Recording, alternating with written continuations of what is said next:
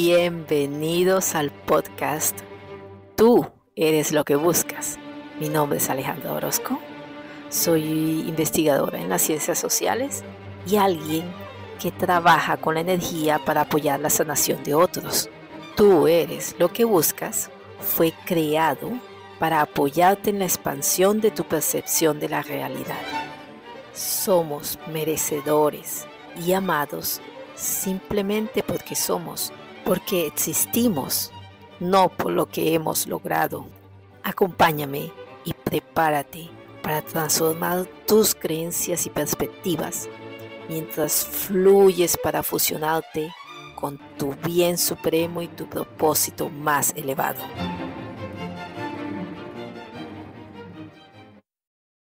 Hola a todos. El episodio de hoy es un extra. A veces es el oro material lo que capta nuestra atención, pero en esta ocasión lo que les ofrezco supera en mucho el valor de ese precioso metal.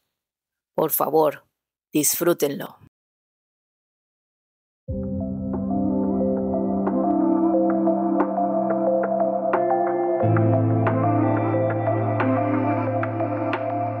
Bienvenidos al podcast Tú eres lo que buscas.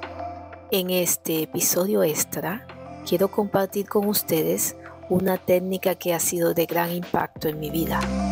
Se trata de la técnica de dejar ir, creada por el doctor David Hawkins, que está basada en enseñanzas antiguas y en fuentes de guía espiritual conocidas.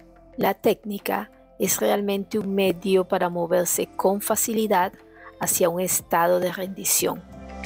Se preguntarán, ¿por qué rendirse? Espero profundizar en ello en el siguiente episodio o los siguientes episodios, pero puedo compartirles brevemente que gran parte de lo que hacemos o de lo que llamamos vivir es en realidad una forma de reaccionar y esto sucede porque existen numerosas capas de creencias, condicionamientos, hábitos sociales y mentales, prácticas culturales, excesos apoyados en la falta de equilibrio interior, falta de conciencia de nuestra verdadera naturaleza, miedos, etcétera, etcétera. Todas estas capas influyen en la forma en que tomamos y reaccionamos ante las situaciones de la vida cotidiana. Y también pueden perpetuar algunas de estas situaciones. Nuestras emociones son la sustancia que alimenta la construcción de nuestro mundo y nosotros somos los creadores de nuestro mundo. A través de nuestras expectativas y emociones damos forma a las experiencias que vivimos y son nuestros pensamientos los que ponen en marcha las emociones.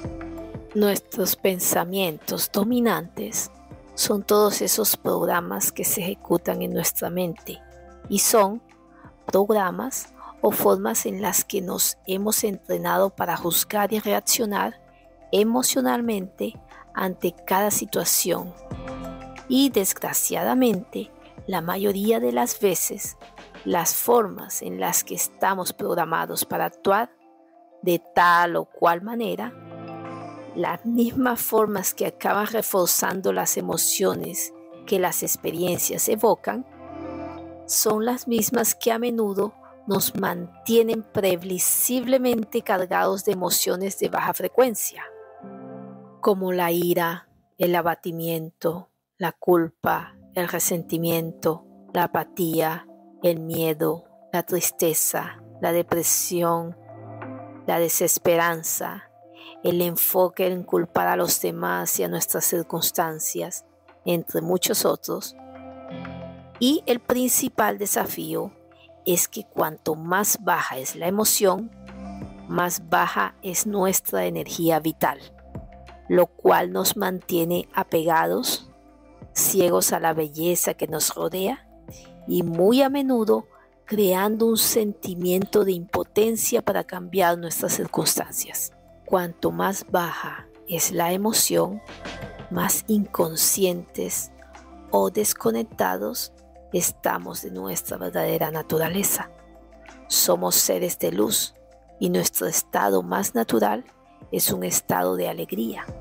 Cuanto menos vivimos en un estado de alegría, más alejados estamos de nuestra verdadera naturaleza.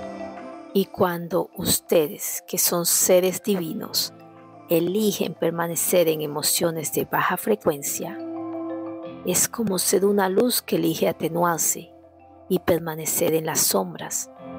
¿Y quién es el que pierde? Todos y todo en la creación. Todos permanecemos privados de su luz y el propósito de su existencia permanece atado y oculto. Aquello a lo que te resistes persiste y no puedes cambiar lo que no reconoces conscientemente. Permitir al todo de ti para tener un viaje más satisfactorio en esta realidad requiere rendirse al todo de ti, incluyendo las emociones que drenan la vida y que frecuentemente sentimos. El cómo llegaron a existir esas emociones es un tema para el futuro. Pero estas emociones son como burbujas que ejercen una gran presión en lo más profundo de nosotros. Pero una vez que se liberan y llegan a la superficie, simplemente se desvanecen. Son como las sombras que, cuando se exponen a la luz, es como si nunca hubieran existido. Solo necesitas practicar la técnica unas cuantas veces para poder empezar a sentir el cambio energético tanto en tu cuerpo como en tu conciencia. Intentémoslo y veamos qué nos ofrece esta técnica a cada uno de nosotros.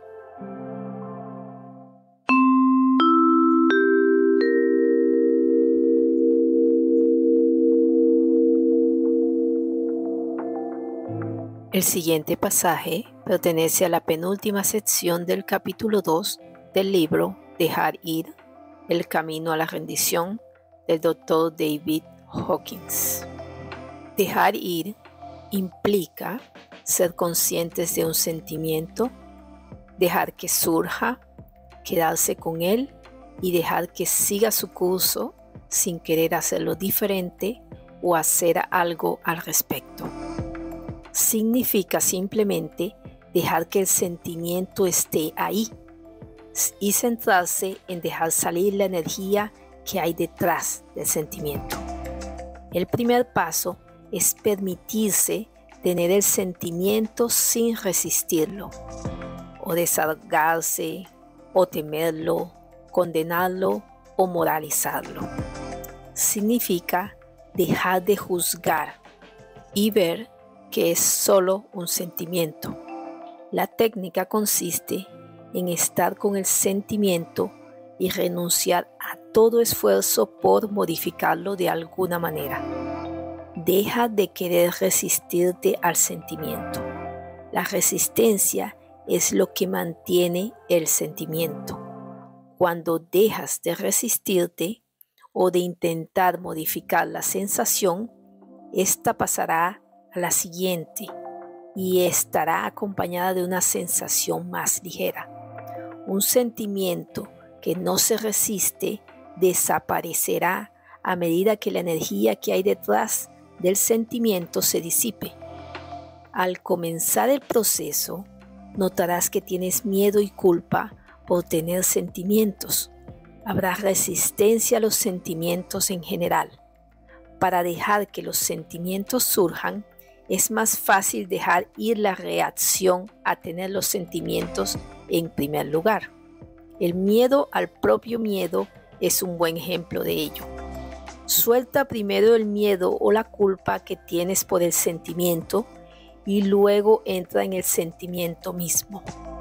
Al dejar ir, ignora todos los pensamientos.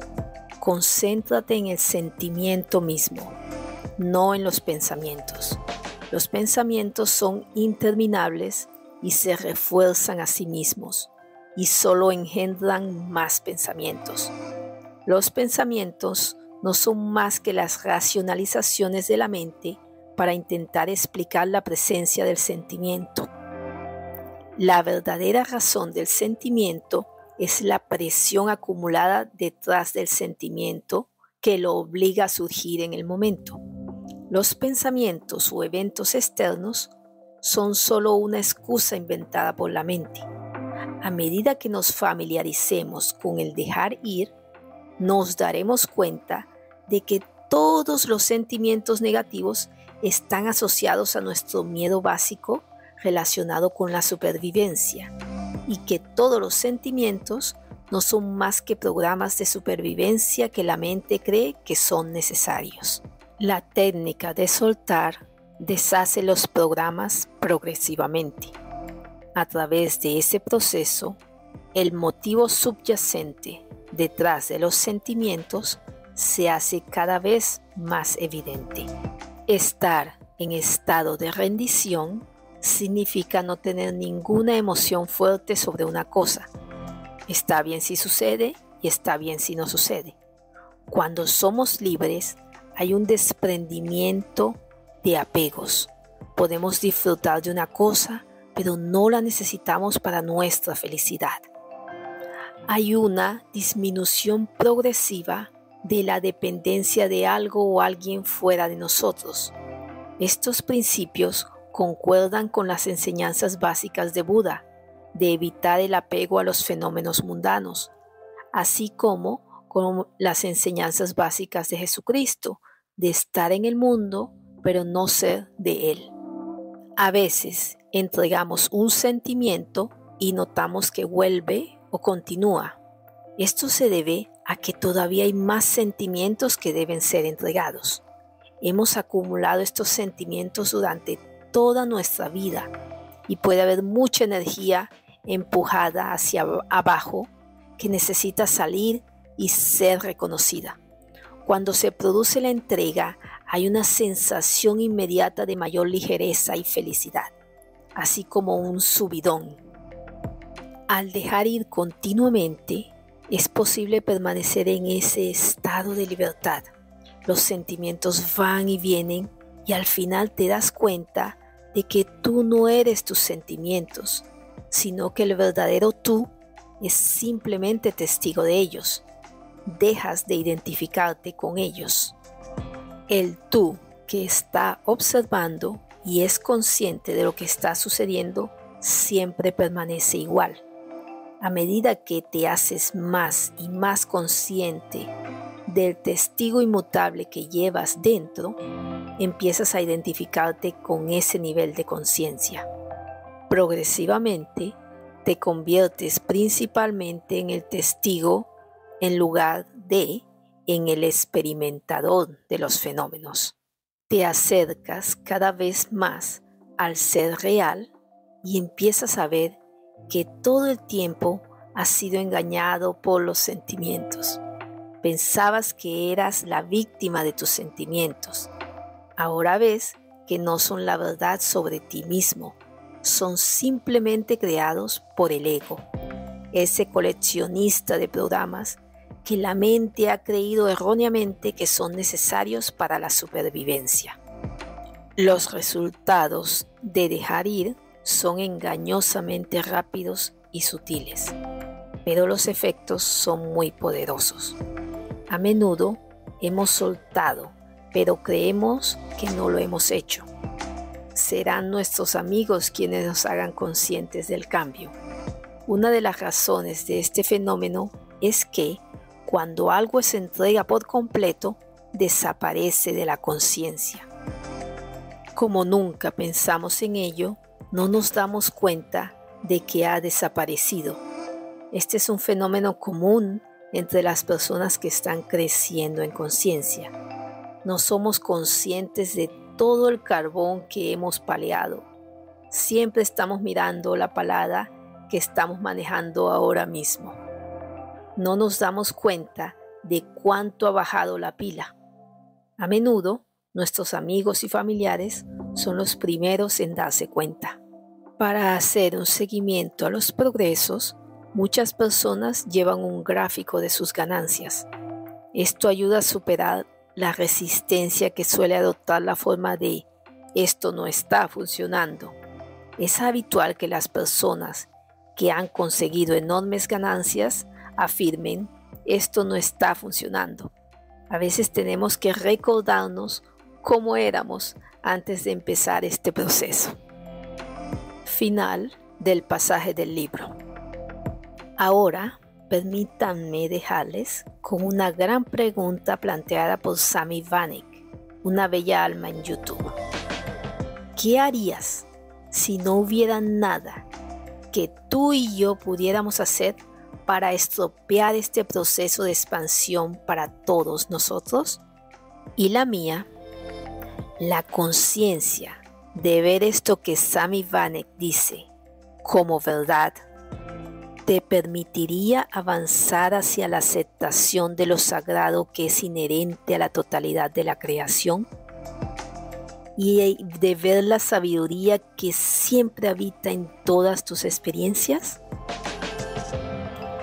Gracias, gracias, gracias. Los amo mucho a todos y cada uno y han estado escuchando. Tú eres lo que buscas.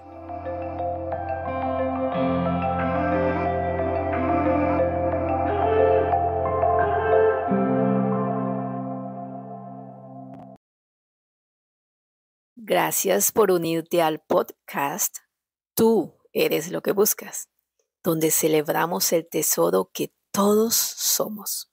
Confiamos en que la técnica te expanda y amplíe tus horizontes. Y estamos encantados de que formes parte de esta aventura con nosotros. Hasta la próxima. Cuídate, mantente con curiosidad y sigue acogiendo lo genuino de tu ser.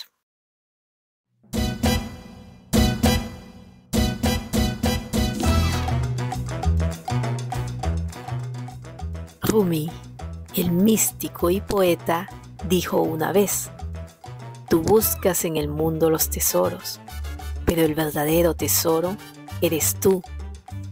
Esta es la esencia de nuestro mensaje en el podcast. Tú eres lo que buscas. Tú eres el tesoro que espera ser descubierto o apreciado. Eres la llama que nunca se consume a sí misma y la luz que brilla en todo rincón. Ahora estás en casa. Por favor, ten siempre presente que eres bienvenido. Mantente atento mientras trabajamos en compartir algo valioso con cada episodio.